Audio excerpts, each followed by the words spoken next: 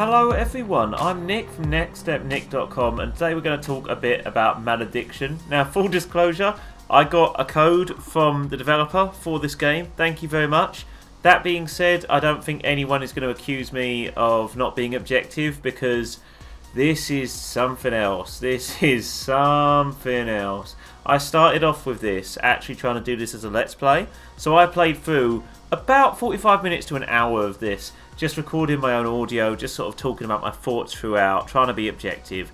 And I swear to God, it starts off at this point. There is dialogue going on right now, by the way. There are no options for subtitles, so you can't get subtitles. And it is generally this choppy in game as well.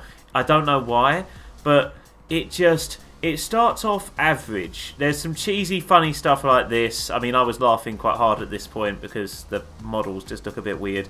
But then there's just other things that are infuriating and so annoying. They quip every 10 seconds. They think they're hilarious. The voice acting is terrible. I mean, have a listen to this. Say, look there. One of my clones. You must be very careful in dealing with him, Morgan. Uh, there's no telling how dangerous he could be, how incredibly cunning.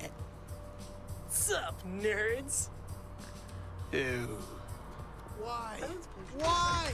Why am I to be cursed this way? Look at me. I, I'm hideous. A disgusting beast, unworthy of life. I'm grotesque. An abomination. I bet you've had enough of that now, but I had that for 45 minutes. The main character, Morgan, is this mage. Um, literally every 10 seconds it's a quip. Something funny, some awful one-liner that sounds like it was recorded inside a fish tub. Now, fair enough this is done by a small team of devs. It's free on Steam. You can get it right now for free. It was released in December. It's like an eight month project by a load of students studying design. But at the same time, I think there's an element of like you really need to think about game design when you're making a game because this is showing off your skills and abilities and you can't just make a nice environment and then just the voice acting and the gameplay well forget about it.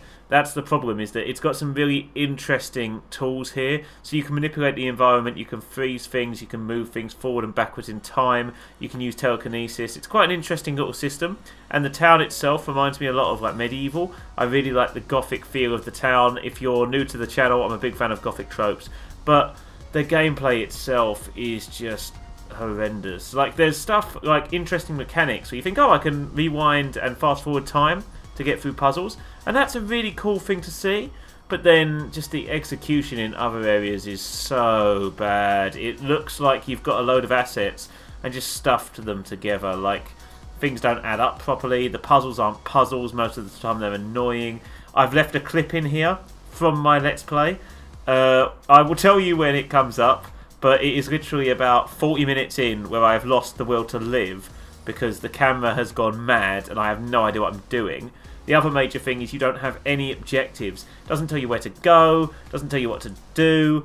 A lot of the time things bug out, they don't work properly, there's so many glitches. And like I say, I know it's done by a small team, but at the same time, if you're going to make a small thing that's showing off your craft, you need to make sure it works properly. Like you're putting it out on Steam and people are going to download this and spend their time playing it. You want to show what you can do. Make sure it's not filled with bugs. Like the design just breaks the rules of like design 101 i mean sometimes you get overwhelmed by enemies that just infinitely spawn like here for example those barrels never stop spawning it's not like there's a finite limit on them or you know you can hide in a certain place or move to a certain area they literally just keep coming and coming and coming there's not even like oh one dies another one spawns it's literally just constant which means you can't have a second to think about your surroundings check this out 40 minutes in right prepare yourself what is this? What is this? Why is this happening now? What is the hell is going on? Right. What do I do? This isn't a puzzle. It's just annoying. I can't see past his head. What is going on? I can't see. No. Oh, I'm, lo I'm losing the will. I am losing the will. Am I supposed to shoot the thing at that?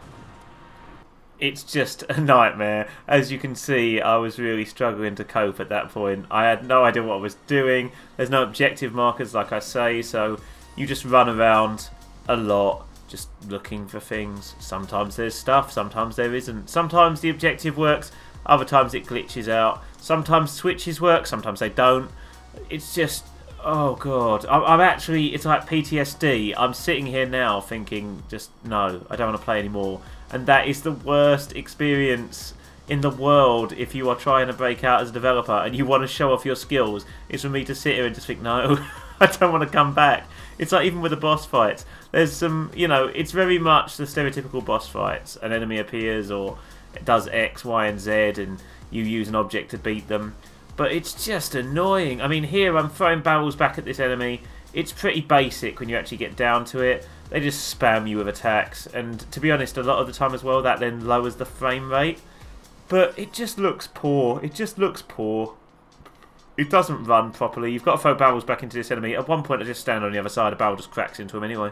It's literally just... it was so bad. And the, the voice acting and the dialogue combined with this just... Oh, no. I didn't enjoy it at all. I'm so sorry, guys. I know you gave me a copy and I was trying to be objective, but... I mean, this is a good example. I got this cog for a puzzle, right? I'm meant to put it on this slot on the wall. There is controls, like controller controls, but it doesn't work properly. So I pull it off that slot on the wall. I run to the new area. Okay, I've noticed now, even though there's no objectives, I've figured it out. I need to put that cog on that slot in the wall. I bring it back over whilst getting stuck in the wall multiple times on the way because, of course, I did. I finally get there. I can't rotate it. What's going on here? You know, I'm meant to rotate it and put it on there, surely. But none of the controls are working on the controller. I went to WASD later on, and even WASD didn't work. So now I'll go into the menu and have a look at what the controls are. But the funny thing is, is you can't see those icons. They only pop up when you actually press the corresponding button. So right now, I can't tell if I've highlighted back or not. So I can't tell what I'm clicking. So I'm tapping A furiously, pressing up and down to try and select back, but I can't see where it is. I finally get back into the game. Okay, I'll try that one more time. See if I can't figure it out. It clips through the floor. That's the only way through. It doesn't come back. I went and checked. It's gone forever, and it's just. Oh no! It was just like hell. I just I didn't enjoy it at all, and I'm so sorry, guys. I really appreciate you sending me the code.